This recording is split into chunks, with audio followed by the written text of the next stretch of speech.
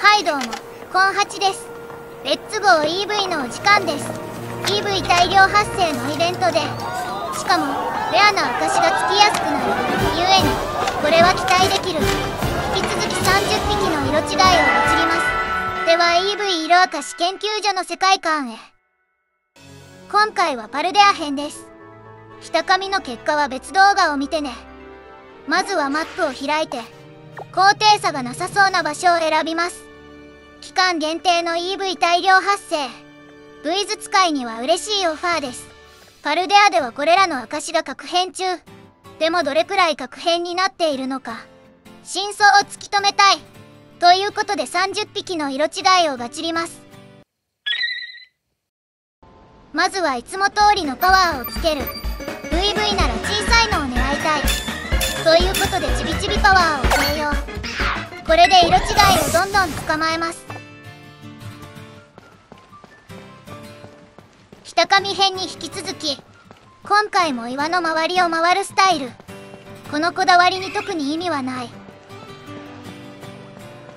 早速色違いの VV さん発見。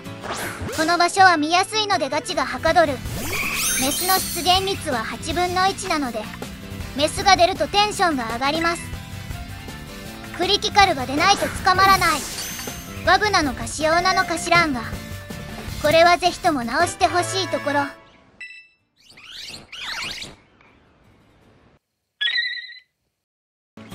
灰色が見えたら色違いのイージーゲーム。よし簡単に出るぞ。と思ったらお前かよクソが。説明しよう。ニャースが目につくことがあるが二足歩行でずしずし歩いてきたらニャース可愛く四足歩行ならば EV なのである。では残り29匹との出会いを一気にどうぞ。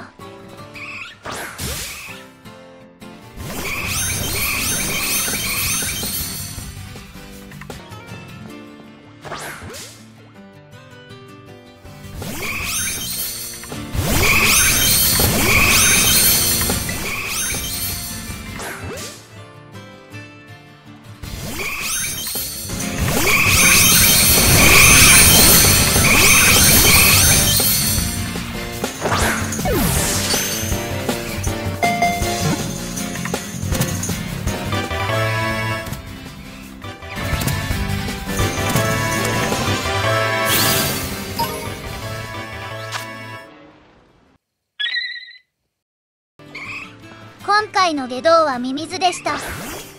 埋まっていてヒットしない。難易度マックスのモグラ叩き状態。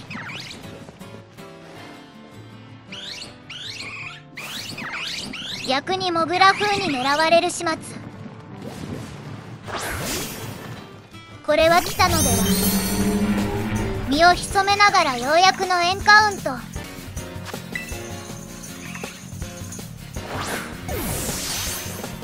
このパターンではダメ。3回揺れても絶対に入りません。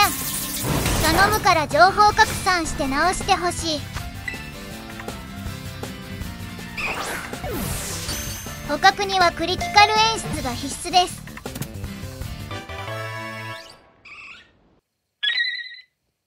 まずは色違いの捕獲について。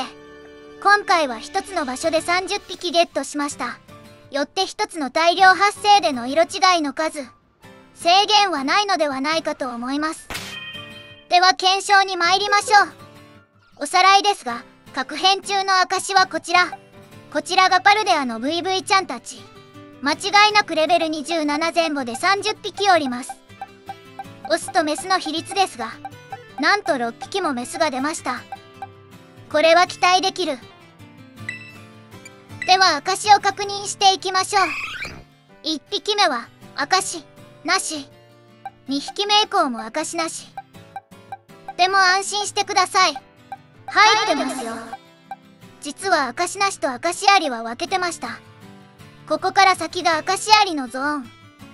メスの証持ちは2匹出てくれました。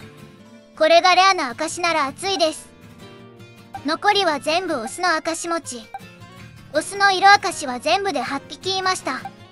証の種類をまとめてチェックしましょう。もちろんオスから順番に行きます。ではいざ尋常に開封。1匹目は人慣れでした。証の中ではつきやすいやつです。よし次に行きましょう。2匹目は少子の証名前が可愛いので悪くないですね。3匹目は人慣れパート2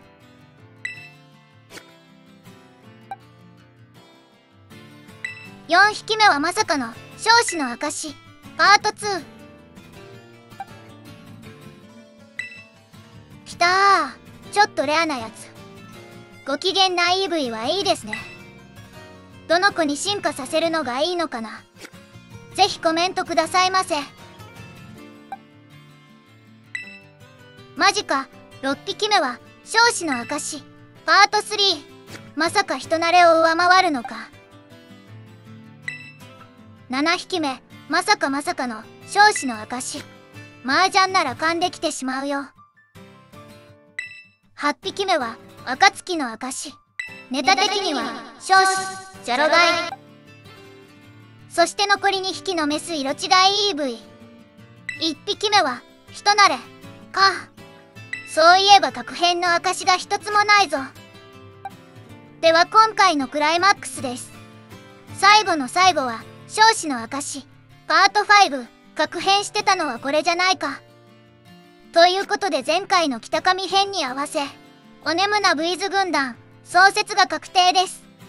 まとめますと証付きの確率は3分の1くらいかな。